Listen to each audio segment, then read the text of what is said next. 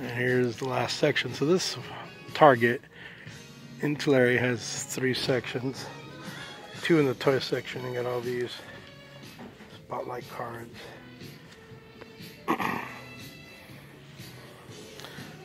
Just like Mama said, some kind of game.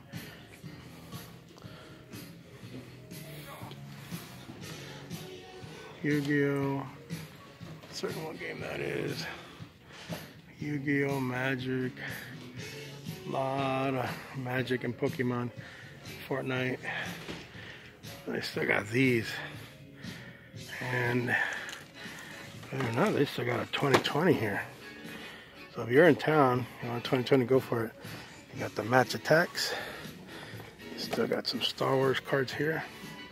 Star Wars here. Empty box of this stuff. That was it for baseball, whatever we saw in the first video. Alright guys, thanks for watching.